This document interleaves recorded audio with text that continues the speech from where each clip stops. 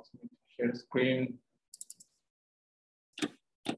And this is not right. Let me see. Change my video conference cam and then show your face, your faces. And then you should be able to see this.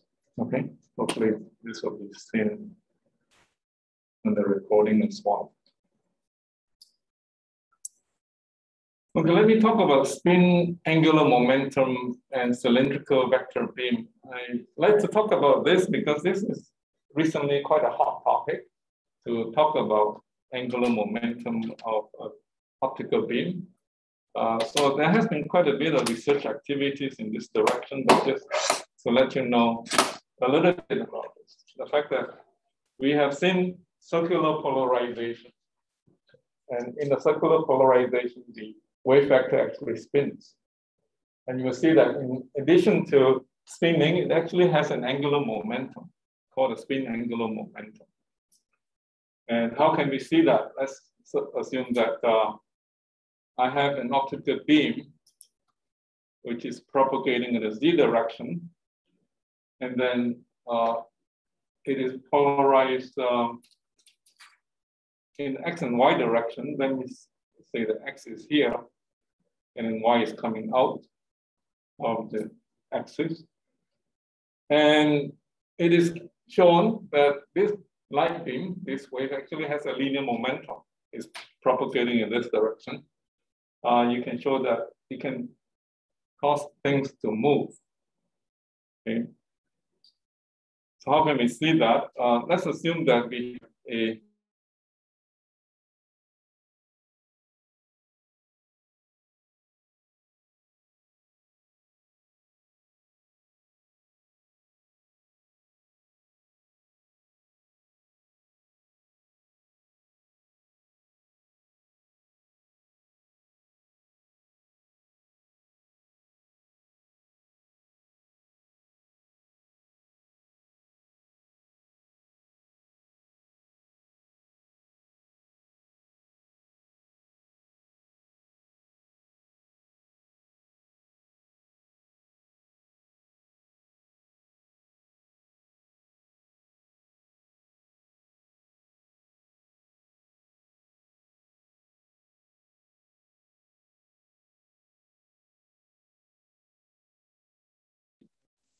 the microphone on my laptop, maybe it works better.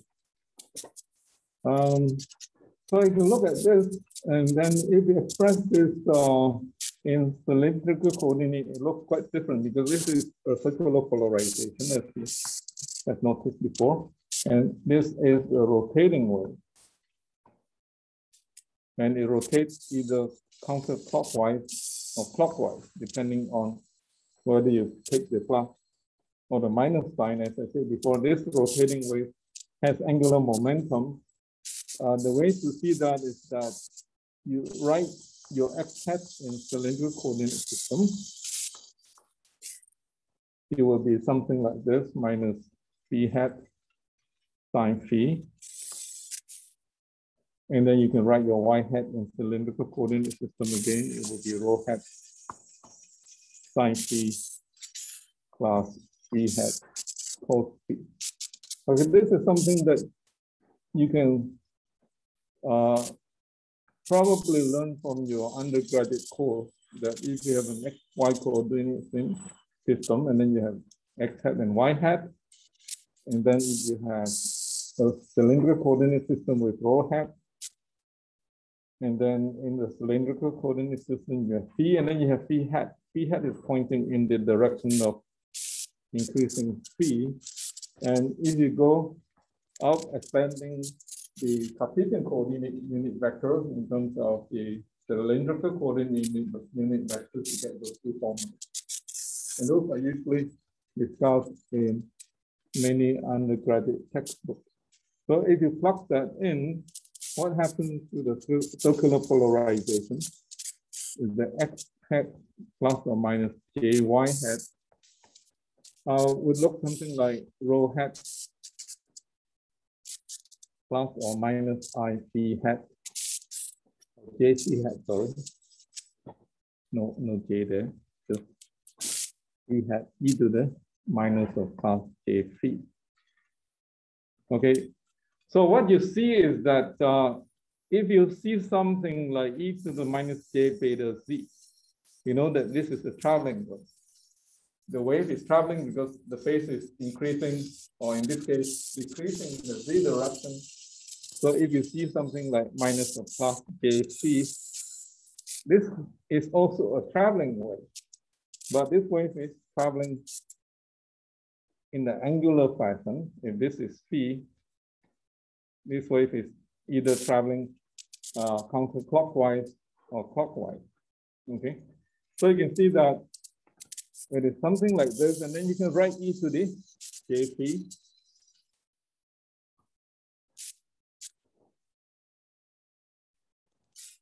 And take a different view of uh, viewpoint of it, and that actually is like a traveling wave.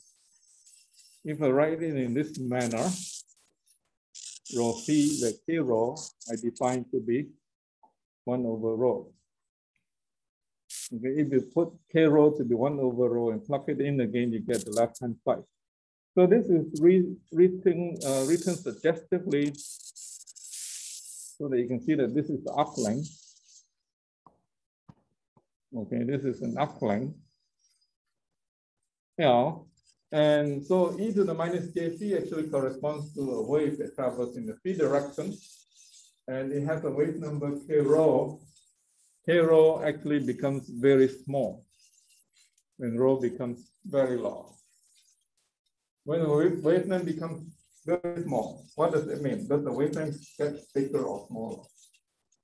If you remember your definition of wave number, the wavelength gets bigger or smaller when the wave number becomes smaller. Inverse, right? It actually becomes, this is proportional to pi over lambda. So as the wave number gets smaller, okay, the wave number, wavelength actually gets bigger. So you can imagine that if this is a wave that's traveling in the azimuthal direction, okay, with a constant wave front, you can see that the wavelength actually gets bigger the further away from the origin you move. Okay, so that makes sense. Um, and what is very important is that this wave carries a spin angular momentum. We'll see in a little while later why it carries a singular uh, uh, spin angular momentum. Um, so actually I have this picture over here that I did not use. So if you break your x hat, y hat into rho hat and phi hat, you get the previous equation that you have. Okay. So in addition to spin angular momentum, okay,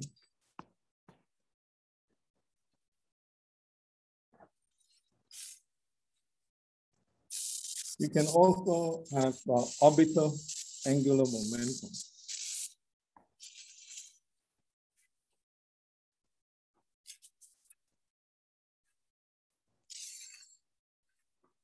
Orbital angular momentum is due to the wave function itself, whereas spin is due to the polarization. So this is polarization. This is due to wave function.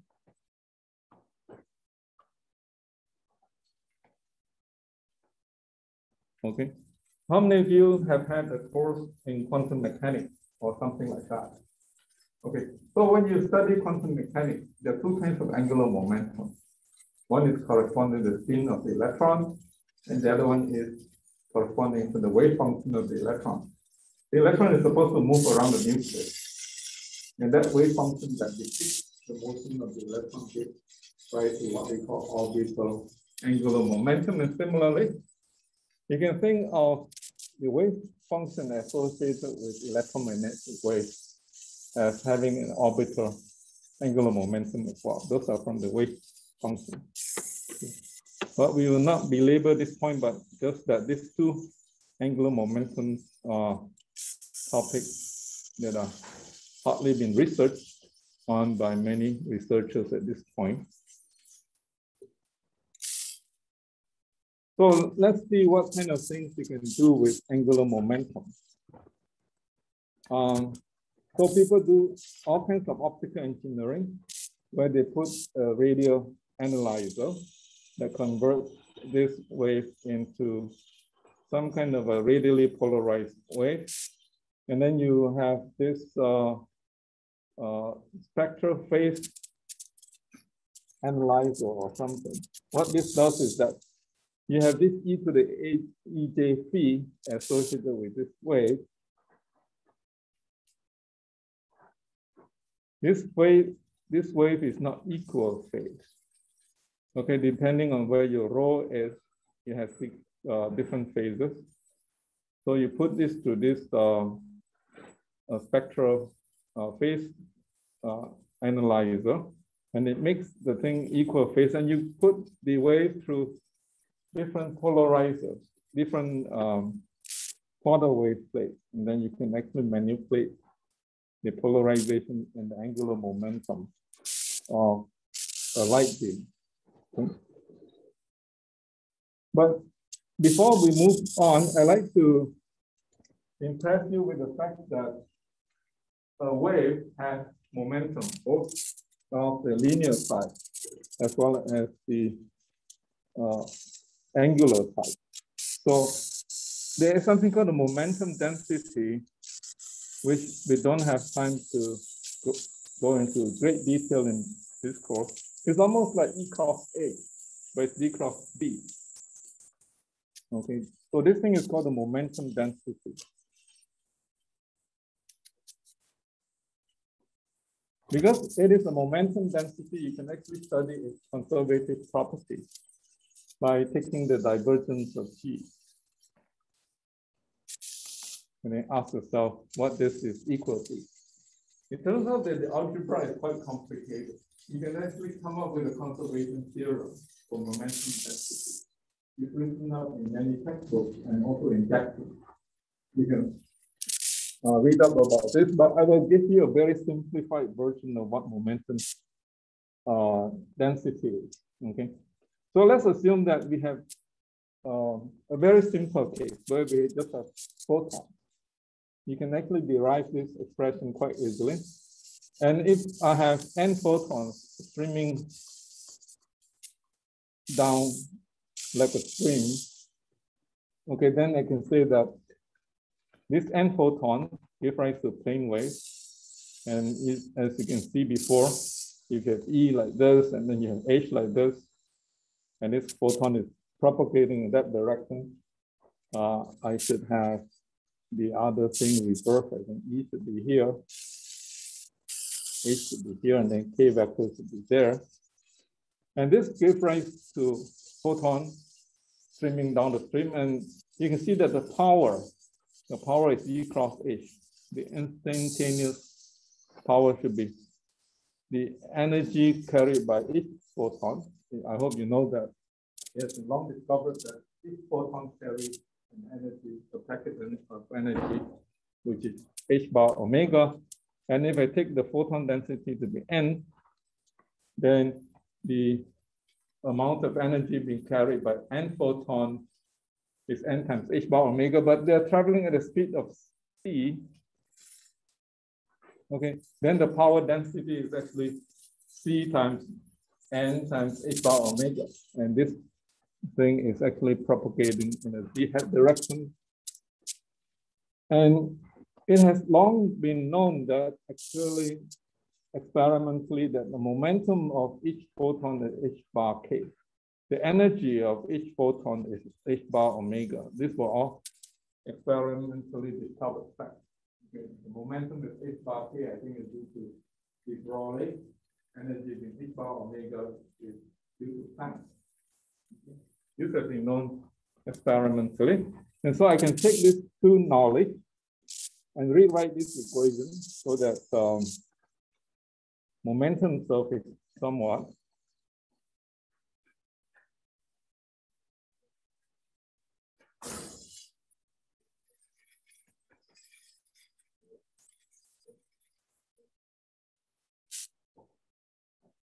So there was the omega over k. Okay, uh, omega over k is just the c. This is just the velocity of light, the phase velocity. And hence I can write this as h bar k n c squared c hat. Okay, I hope I get everything correct. But c squared, as you know, is 1 over mu epsilon.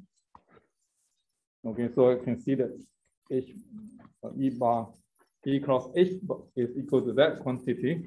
And now if I take the mu and epsilon over to the other side, then I get epsilon e cross mu h is h bar k n c. And this is just d cross b. And h bar k is the momentum per photon. Okay, so momentum per, per photon and n streaming down. This is just momentum density.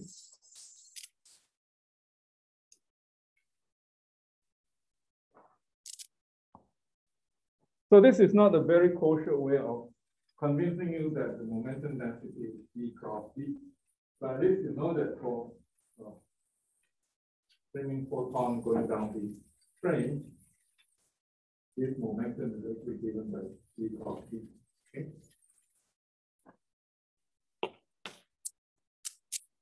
So any questions regarding this? Yes. Uh, yes, I, I, I guess you probably have seen those gizmos in some people's office where you have a little pen or little thing and one side is dark, the other side is light or cable. And that can keep spinning and spinning and spinning and it. And the light, because the dark side will absorb a photon, the light side will reflect a photon that difference to the momentum pressure on that uh, uh, on the thing, little fan, and it keeps spinning. I don't have one with me. I'm sure that you've seen them somewhere in some offices, and people like to decorate their offices with that device. Have you seen that?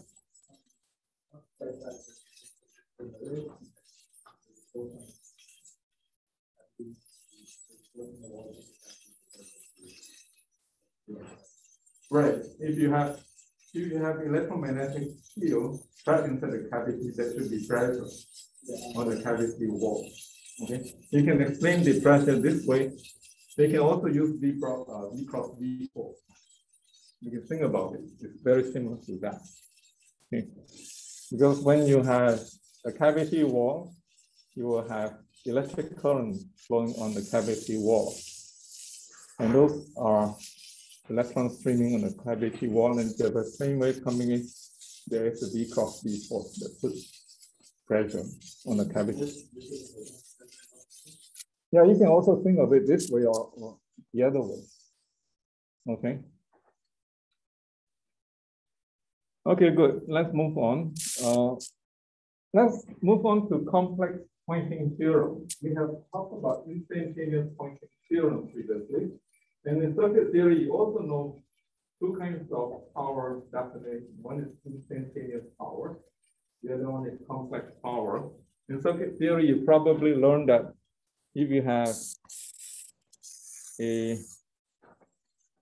B and then a current I on the load, and that the instantaneous power is given by this. And if you use phasor technique, you know that if you are in the frequency domain, the complex power is given by that. I guess all of you know that from your undergraduate circuit theory course. And we have similar thing in electromagnetics. We just learned about instantaneous Poynting vector, which is given by this quantity over here. Okay, this is called the instantaneous Poynting vector. Um, and then we can also define something uh, which is complex. I think we went through that definition before. And if these signals are all time harmonic, we can replace them with phasors, assuming that you have time harmonic signals.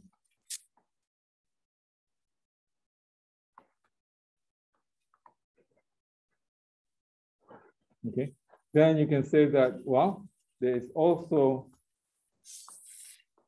a phasor representation of that, and then the phasor representation of that. And these are all complex vectors and very similar to this. Okay.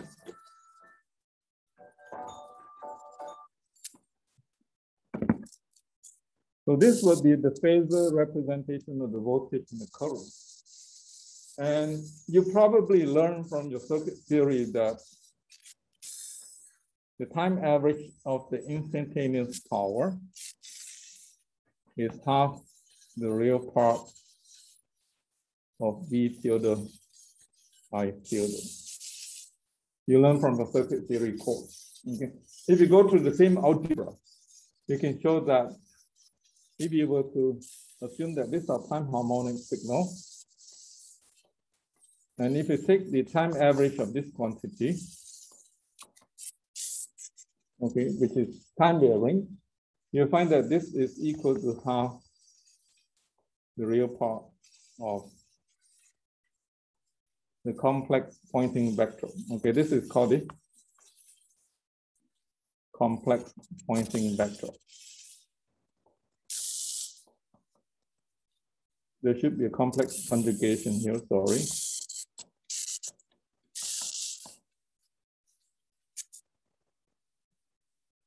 Okay, that should be a complex quantity here.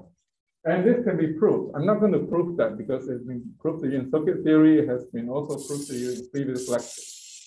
That the time average of the left-hand side is half the real part of the right-hand side.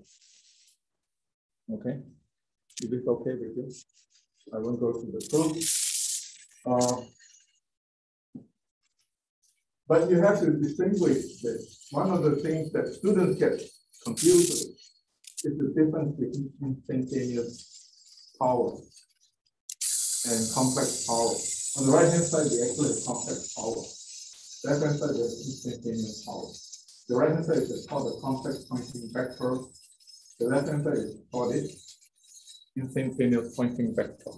Okay, so so because of this, then uh, I can prove what is called a point, uh, complex Poynting theorem. Okay, the complex Poynting theorem is a study of this quantity. This quantity will still have the unit of power density. Remember that in phasors, the units don't change. Whatever E that I have there, the H that I have there, has the same unit as the hand domain amplifier. So that quantity has the unit of power density.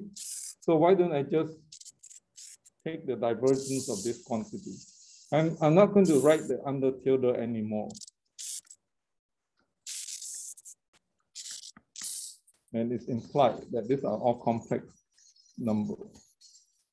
Okay, I'm even going to be more slick and I'm not going to even put the arguments as uh, as uh, a frequency dependent argument.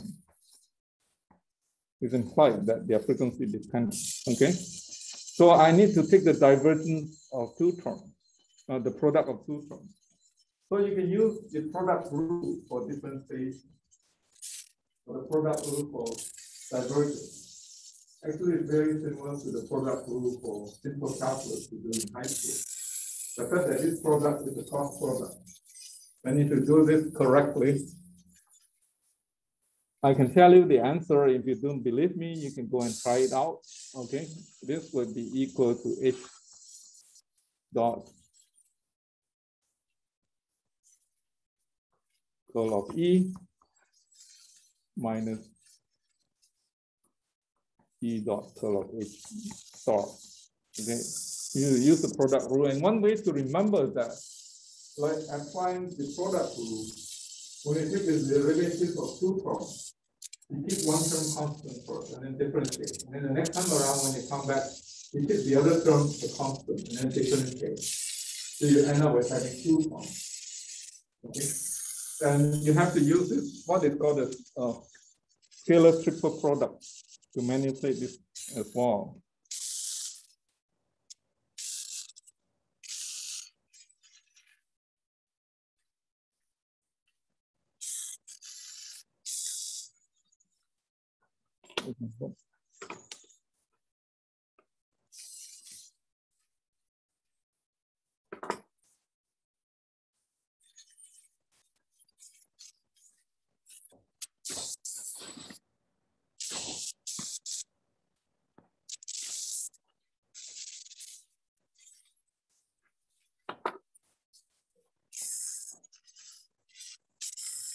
I don't know why my pen is not writing.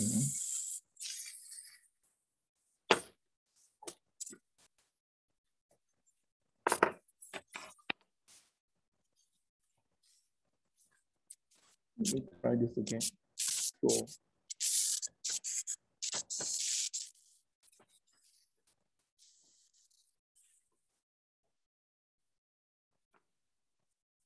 Does anybody know does anyone know why my pen is not writing? Go here.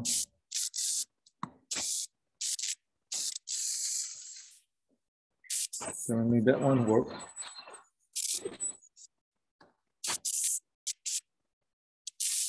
Okay. Mm-hmm. Triple product doesn't work again. It confuses me.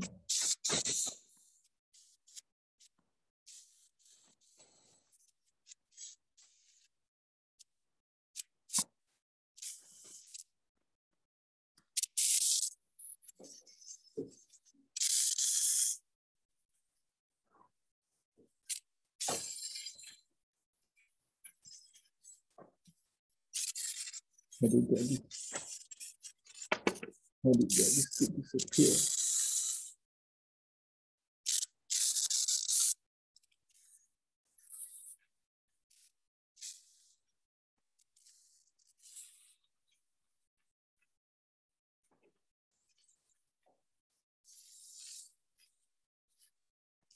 No, you're right. I don't know why.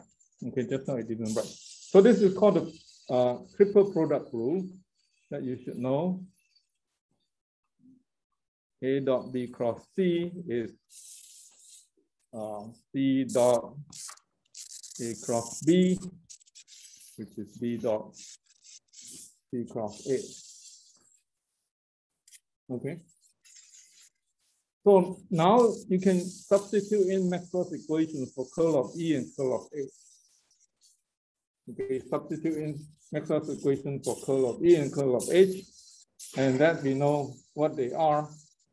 Curl of H star is minus j omega d star plus j star. This star just means complex conjugation. And then um,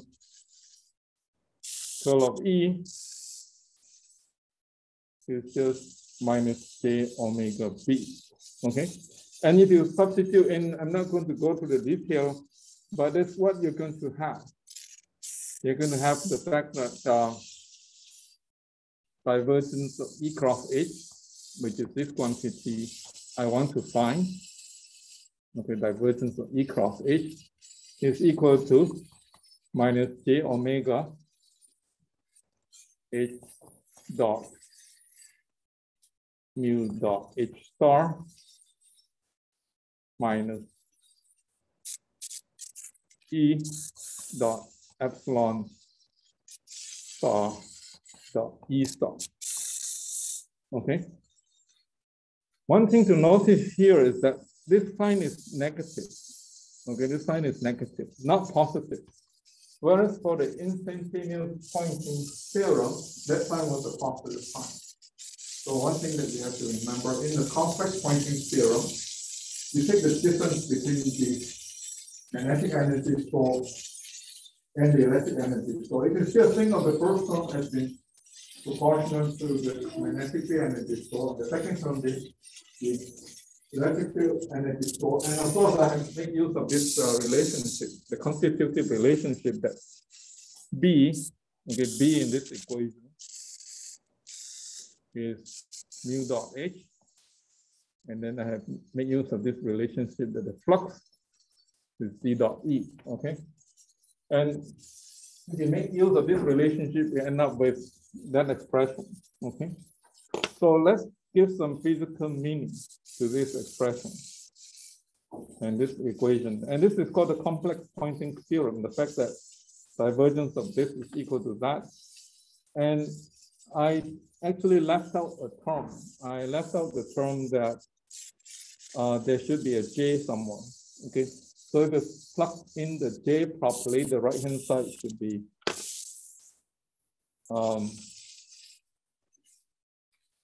sorry about that. There should be an additional term of minus E dot J star. Okay, that should be there. Okay.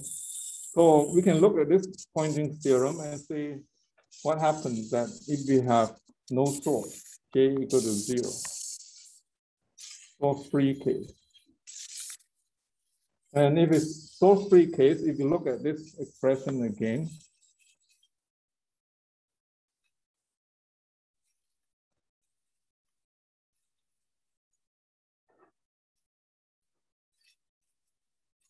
Okay, if it's the source free case, we can think of a certain volume B, and then there's nothing inside this thing, J being zero.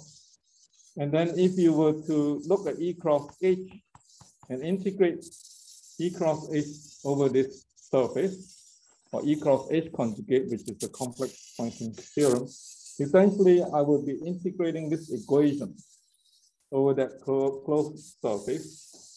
And if the medium is truly lossless, because the integration, if I were to integrate this equation, I will get the fact that um, using the Gauss divergence theorem, I will get E cross H conjugate dot ds, okay, would be equal to minus j omega dv of whatever I have on the right hand side, which is h dot mu dot h star minus e dot epsilon star dot e star. I assume j to be zero. Okay, I would integrate this over b and this over f that is bounding the surface C. And if the medium is truly lossless, and if you remember what this is, Okay, this is complex Poynting theorem. And this is complex Poynting vector, okay? Complex Poynting vector. And if I take the real part of this equation, the left-hand side will correspond to the time average power that goes inside the volume B. And if the medium is truly lossless, that time average power should be zero since it does not consume any power. So if I take this real part of this equation, the left hand side should be zero from physical interpretation. Okay. And in order for things to be agreeing with each other, the right hand side must also be zero. Okay, left hand side will be zero for lossless case. Left hand right hand side must also be zero. How can I guarantee that the right hand side is zero? And the omega times some very complicated working form. And if you know your linear algebra well, this is like a vector times a matrix times the complex conjugation of this vector. Okay, this is like another vector times another matrix times another vector complex conjugation. How can I guarantee that this inner product, a vector times a matrix times a vector, how can I guarantee that number to be a pure real number? Because if that thing is still real, when you take the right hand side and it's real part, it will go to zero. In other words, the right hand side will become pure imaginary. So how can they make those two terms pure real so that when they take the real part it is actually a pure imaginary number, it will go to zero.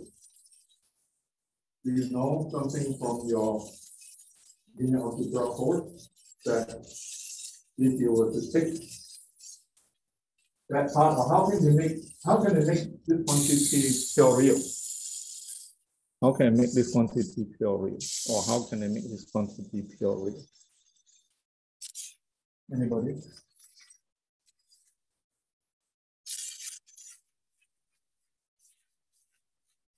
Have you had a course in linear algebra?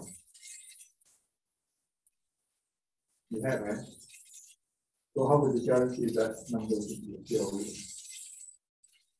What is the special key about mu and epsilon? Yes? Yeah, but they are complicated and real. They are actually tensors. Tensors, you think that they're represented by small matrices, three by three matrices. So really the correct answer is mu and epsilon are scalar. Okay, you seem to have an answer. Uh, symmetric, that would be a correct answer if everything is real. It is expression, but we're in the phase of the world. So X can be a complex vector. E can also be a complex vector. So we have to go into complex vector spaces. Yeah, very good. Mu and epsilon have the deep Hermitian tensor or Hermitian matrices. Okay. So in order to guarantee that the right hand side is still imaginary, you have this requirement that mu is equal to mu conjugate transpose epsilon is equal to epsilon conjugate transpose. Okay. So it's the permittivity tensor and the permeability tensor have this property, then the right hand side would be purely imaginary and energy conservation is not violated. And that actually denotes lossless medium. So if we have a lossless medium, right hand side would be pure imaginary, and we have a lossless condition. So these two are also called the lossless conditions.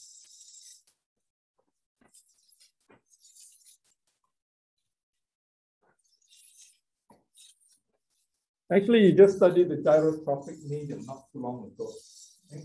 If you look at the tensor that comes out from the gyrotropic medium, it actually is a Hermitian tensor because we did not put in any loss when we derived the permittivity, uh, tensor for gyrotropic medium.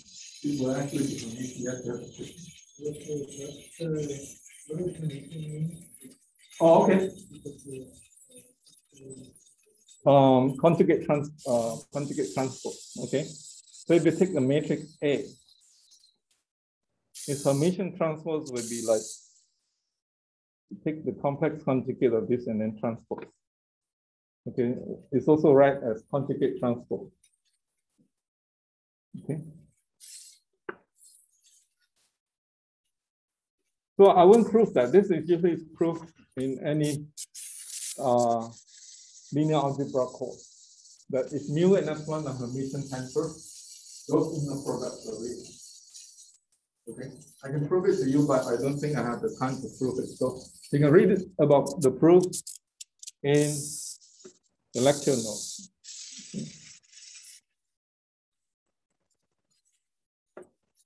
So with the remaining time, uh,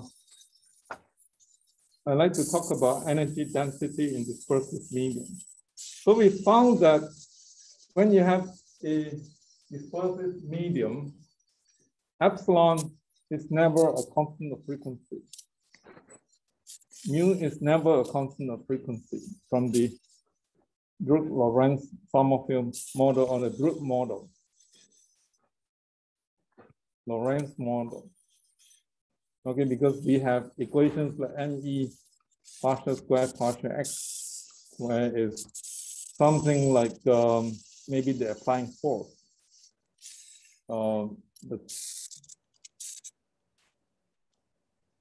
minus EE, okay? So the equation of motion looks something like that.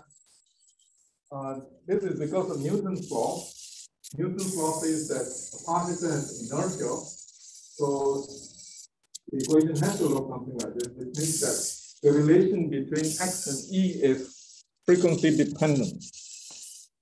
So the dipole moment, which is ex, which is something proportional to e, and then you will find that p is linear, linearly proportional to e, but the kind that we have found has to be a frequency dependent quantity it's almost impossible to find material properties that is frequency independent because of Newton's law. And we're using classical physics to describe that, but that's okay. It's almost impossible to, to do this. So, so I like to talk about energy density in dispersive medium. And you learn that energy density is this in vacuum.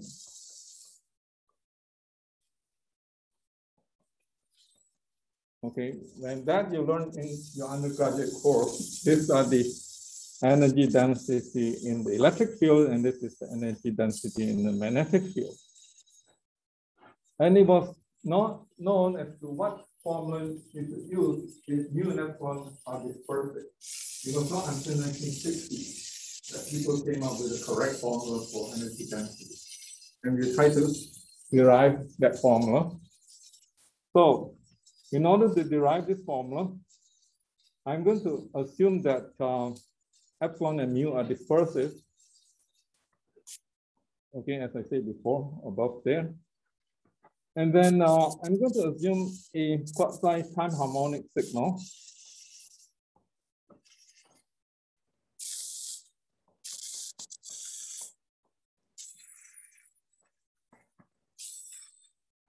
Okay. But omega is not a real number. Omega has a real part plus a very small imaginary part. So this is not a time harmonic signal anymore, but a quasi time harmonic signal. Very different from what we have done before. And we can do the same thing to the magnetic field. It is going to be quasi time harmonic Okay, let me call this quasi time harmonic. Okay. And then um, I'm going to plug this expression into Maxwell's equations. Whatever we did for phasor technique still works here. In phasor technique, we assume that omega is real. But here we're going to let omega to be a complex number. It's okay. It still can be used very similar to phasor technique. So what we do then is that uh, we look at E cross H again. Now these are complex numbers, okay? This is a complex number. This is a complex number. Okay. Um, I guess it might feel uncomfortable as to why I relate something that is actually real on the left hand side to something that is complex. Okay. It's okay as long as in your mind, you always know that you have to add the complex complication to make it real. Okay, but most of the time people don't bother to add the complex complication So I just say that that signal on the left is the time dependent signal, but it's equal to the right hand side. To be cautious, you have to add the complex conjugation part. I'm not going to add that and just assume that you are adding that in your mind. Then if you plug this signal, this field into Maxwell's equations, uh, you'll find that the divergence of E cross H, okay, which are now complex numbers, uh, would still be equal to the same thing that we had before, except that uh, the identity that we use can still be used, and then you will have E dot gradient of H star. Okay, so far so good. Nothing surprising so far, right? I just use this identity again, but except now that my E and H are complex numbers. Okay. And then I'm going to use Maxwell's equations to substitute in for those quantities. And you know that if you assume this kind of time dependence, Maxwell's equations simplify to something that looks like phasor technique. Okay, curl of E uh, is going to be equal to minus J omega mu H. Curl of H is J omega epsilon E. Okay, it's a simple fact to show that. But this will still hold true, except that you have to know that omega is now a complex number. This, this is like a phasor technique, but not quite. I'm just using the simplicity of phasor technique to analyze this. And now if I plug this into these two equations, okay, then I can show that um, divergence of E cross H. I'm not going to do the math, okay, but if you go through the math, uh, what you have is that since omega is a complex number, okay, you will find that J omega um, mu of omega. Mu is not the tensor, so it makes life a little bit simpler. Plus J omega. I don't have to put this here.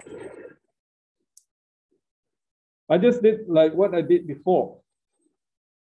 But be mindful that I'm dealing with quantities where omega is a complex number. We will arrive at the same point as before. When you use phasor technique to study complex quantities. Okay. We will arrive at the last equation. The difference is that omega is not real anymore. Okay. So because omega is not real, if you do things correctly, this should be omega complex conjugation over there. Because you have to take the complex conjugation of this equation. So omega will be complex conjugation. But you can work on the details. I'm not going to work on the details, but that is the last equation that we have. Okay. And I'm going to do, there's no approximation to make so far. Not a single bit of approximation that we made. So approximation I can do to make sense is to assume that omega is a complex number, but the imaginary part of this omega is very, very small. Okay. I'm going to assume that to be very, very small. And then you can do Taylor series expansion. What you have is that um, what you have is that uh, you you break this into real part and imaginary part and do a Taylor series expansion, do a Taylor series expansion, and then this will have the real part and imaginary part. And then I'm going to assume that omega double prime is going to be very, very small. And if I do that, then with Taylor series expansion, I can show this to be true. Okay, I can show that uh, mu of omega can be written as mu of omega prime minus j omega double prime. And this is simple Taylor series expansion will be mu of omega prime minus j omega prime d mu d omega. Okay, this is just a simple Taylor series expansion. You can do likewise for epsilon of omega. You can written as uh, this can be thought of as an approximation minus j omega double prime partial. Okay, so I'm going to do this approximation. This is never done in the phasor technique before, but I'm going to use this approximation to that equation that I have on the bottom of all the equations that I have. Okay. And I'm going to then match from. I say that those that are large will match to those that are large. Matching with those that small. That is called power series approximation. One way to say that is that um, if you have two power series, A0x plus A1x squared plus A2x cubed, and if they are equal to each other,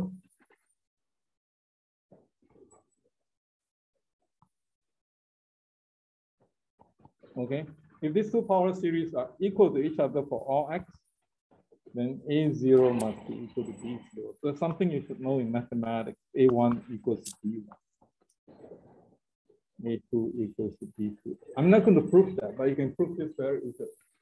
The two power series are equal to each other for all x, the coefficient must be equal to each other. So I can perform Taylor series extension of that equation and mesh terms of the equal order. Okay, and if you do that, then you show that uh, divergence of E cross H star, which is the largest term on the right hand side and on the largest term on the left hand side. On the right hand side, if you collect terms, you collect terms, the large term will be j omega prime mu of omega prime uh, h square in other words, I take this form, I take this form and keep its largest form. Okay, I can get that on the right hand side. And then I take the other term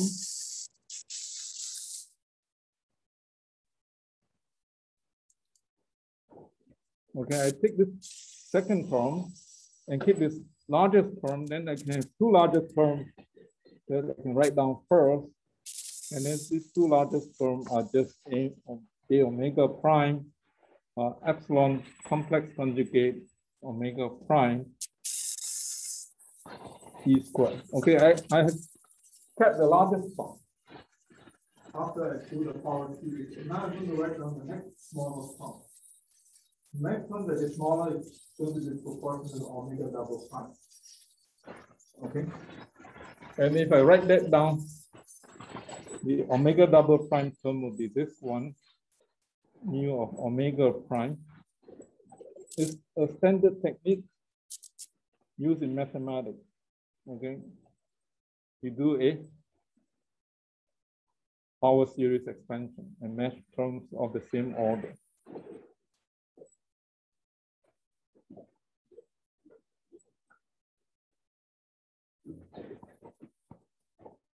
And then there would be a, a, a term that looks like omega prime.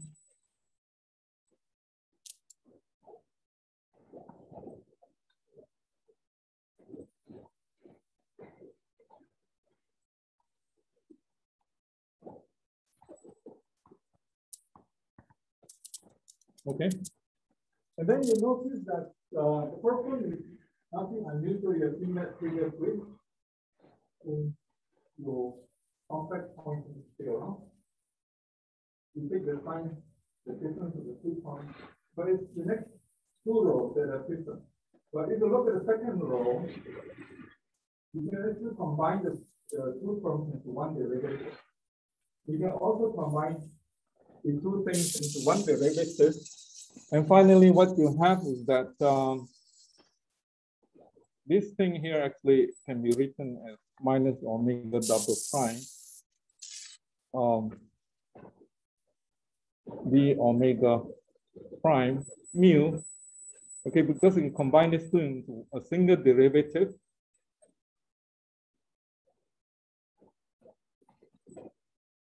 And then you can combine that two terms into a single derivative as well. Popping up.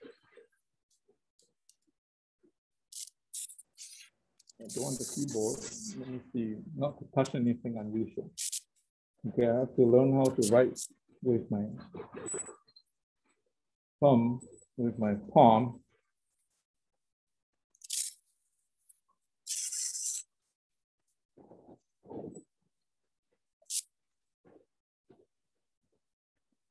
Okay, and, and this, this is going to be just that prompt, okay? So if I look at this thing, I have something uh, that is very interesting. The first term that I have in the first row is still imaginary. Okay. And that is just what I know before from the complex function theorem. If the second and the third row, you can be combined into this very simple formula, it's still real. Now, if I take the real part of this equation, if we take the real part of this equation, the left hand side will be corresponding to complex power or real power. Okay. The time average power of the system. The right hand side, if I take the real part, the first line disappears. Okay, you can see that the first line disappears, and you only pick up the second one, if you take the real part of this equation. So what it says is that if I have a quasi time harmonic system, you may take the divergence of this quantity. Divergence of that quantity is proportional to this.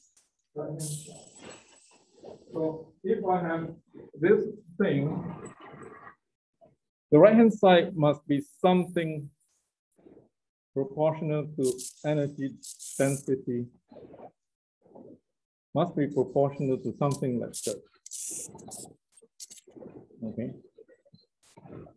Must be proportional to something like that. In order for this to count as a conservation theorem,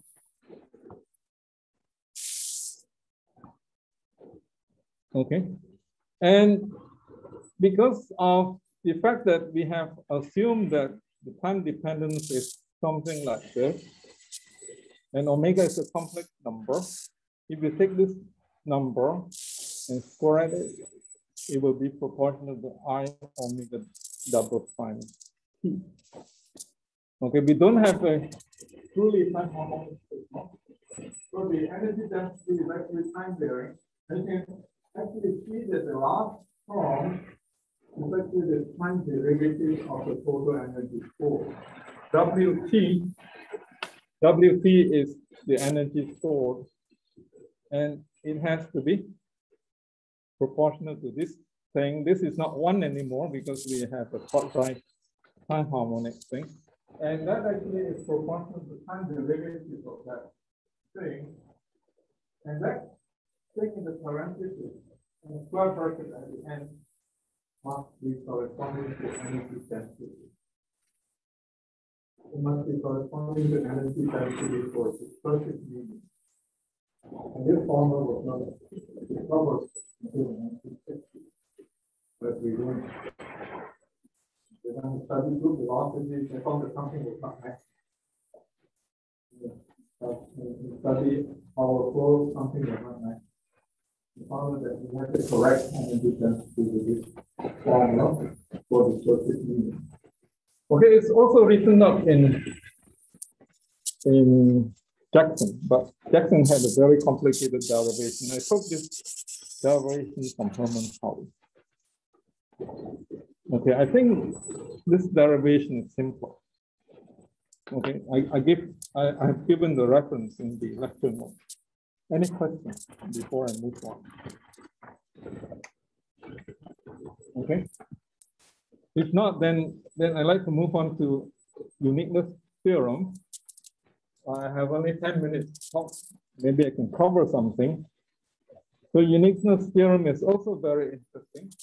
It says that if I give you a problem to solve with prescribed process, and if you solve this problem with prescribed boundary conditions, are there only one solution or two solutions that satisfy the equations that I have?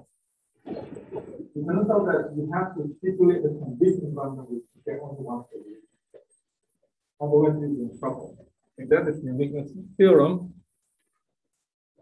Um, so if I have J here, and if I have a PEC, for instance, as a boundary condition, and and then for PEC, I will have n cross E equal to zero, n cross H equal to J. Okay, you solve this problem, and then you plug in Maxwell's equations in there, and you find E and H. You ask the question, if I found a second equation, a uh, solution,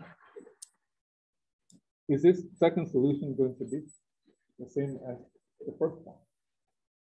So if it is not, then then it is really bad. I guess if you watch the movie Star Trek,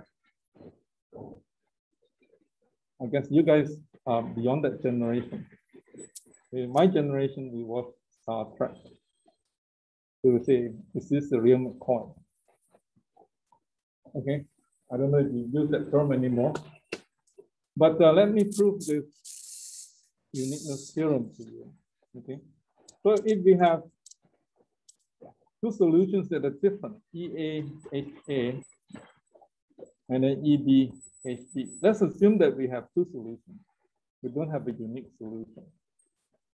Can this be really true? Then I can write down Maxwell's equation. Say, if I really have two solutions, they must satisfy this equation. I did not change my source, so my sources will be Mi, and then my HA would still be the same.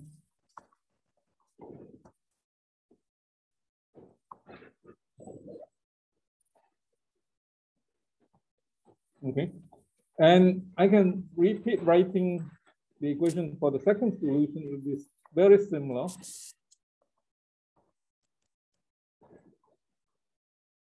But the source did not change. Okay, the sources did not change. So, so if I were to write down the equation for the second solution, it will look something like this. Okay, agreed. So if I do in fact find two possible solutions based on the equation that these two possible solutions have been satisfied, I not change the source. Find the subtraction. The sources will be subtracted out. You take the first equation, subtract by the third equation, you take the second equation, subtract by the last equation, you will find that the difference the difference, okay, the difference solution, which is take this one and then subtract by this one. The difference solution will satisfy this equation.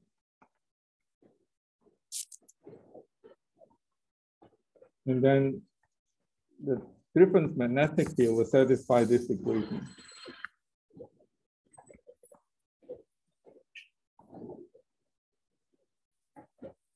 Okay, where delta H and delta E are the different solutions, EA minus EB. Delta H is HA minus HB. Okay, can you see this quite easily? Okay, so if uniqueness is satisfied, then delta H and delta E must be zero.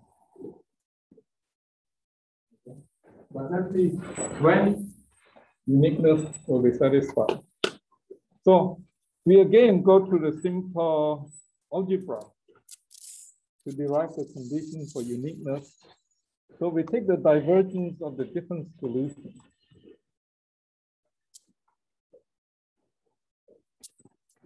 And that will give you, using the product rule that we have used so very often, and then I guess we can do this product rule in the flip by now.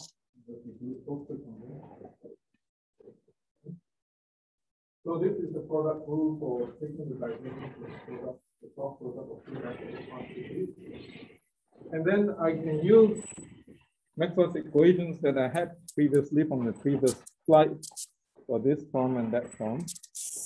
And then um, and then the right hand side will become just J omega delta H star dot mu dot delta H plus J omega delta E dot epsilon star dot delta E. Very similar to all the kind of manifestations that we have before.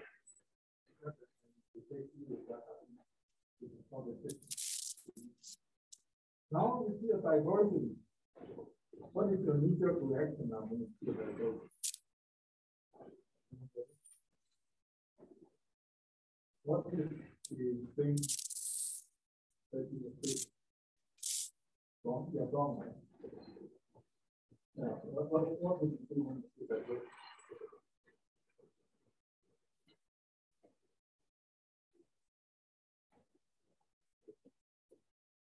We integrate it over a volume V and impose outside version zero. Okay, that is the meter reaction that you will do. So let's integrate this equation over both volume V and impose Gauss divergence and arrive at a different expression. So the left-hand side will look something like this.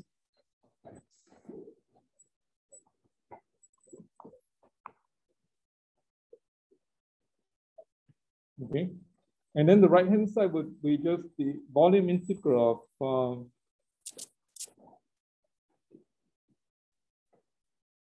omega delta H star mu delta H. And then plus, notice that the signs are different. There's always a minus sign associated with them. That is very peculiar of the complex Poynting theorem.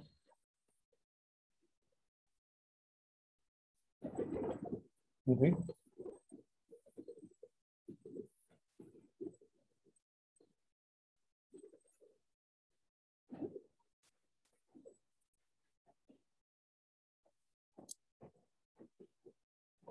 And you, you can again um, ask yourself as to what you can do to make delta E equal to zero, delta H equal to zero, okay? So the next thing you like to do is actually to make the left-hand side equal to zero. The left-hand side can become zero if you impose boundary conditions.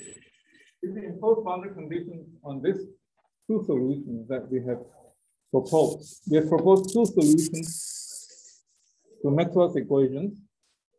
But let's assume that when we propose these two solutions, they satisfy the same boundary conditions. Okay, if they satisfy the same boundary conditions, can you see that delta E and delta H, you can use the scalar triplet. Uh, you can, of course, always write this as this and say that this is n cross delta E dot delta H. And you can do likewise and say that this is the same as delta E dot n cross delta H. Okay. So if I have boundary conditions like tangential E equal to zero on the wall of the cavity, the left hand side will be zero. And if I have boundary conditions, like if I have tangential H in zero on the cavity wall, the left hand side will also be zero. So we can make the left hand side going to zero by imposing boundary conditions. Would that say a uniqueness problem? It, it says it partially. So I can get this to be zero, and then zero equal to right hand side. Would that guarantee then the other A and delta E are zero on the right hand side. Well, what is the reason?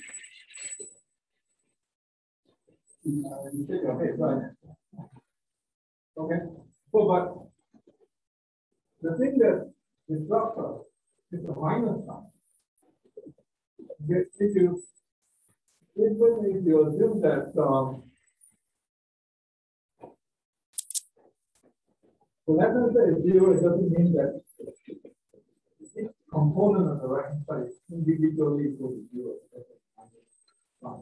Even if you assume that mu and epsilon are Hermitian related, go to the minus sign.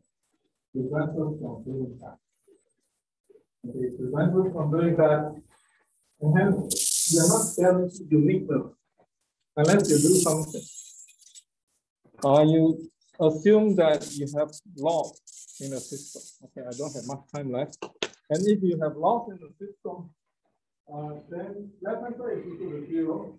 Right hand side is not the pure imaginary number. You have the real part and the imaginary part. And you take the imaginary part, it turns out that the minus sign goes over. Just to see the epsilon as complex computation that means the complex computation. So if you take the medium to be lossy, then one of the terms on the right hand side will not have this sign difference. And then with that, you can go to neutral. So when the medium is lossy, then you make us discavity. I, I guess I'll stop here. I'll continue next time. Do you have any questions? Any, yeah, you have? That one? Okay.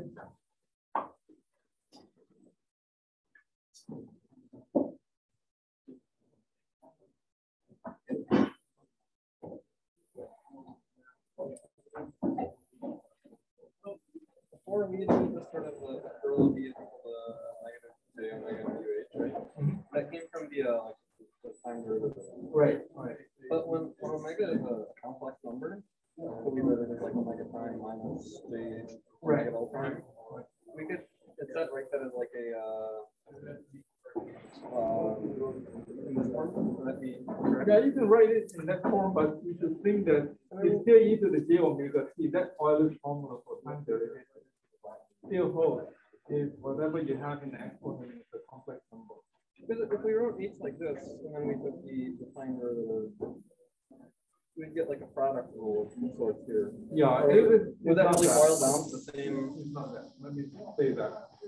If you have, uh, this being, uh, proportional to this, this can be a complex number.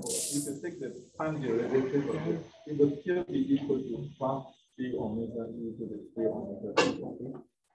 Are we sure? That's what I was confused about, because isn't to, No, this formula holds true. Even when omega is a complex number. I see. You I'm can bring, you can wondering bring how it we know that they're screwed up. Yeah, you can. Because I was kind of trying to them. show, show a case for that. What is- Yeah, try to convince the yourself that it's not true. I think you will be convinced that it will be true, yeah. I sent you email the other day regarding the homework submission. Oh, yeah, I think I saw that, yeah. Yeah, uh, will, will that be, will that be a problem? Yeah, that, I think we can take care of that. Okay. I asked the PA to take care of it. All right, thank you so much. Remind, remind me if it's not been taken care of. Okay, because, uh, I was, the, the, on Saturday morning, I had to check my emails and Uh-huh. everything. I freaked out and I thought, oh, what, what, what, what has Yeah. happened? So, guess it could be that the internet is off to flow yeah, or something like that happened. so, all right, but thank you so much. Okay. you're welcome.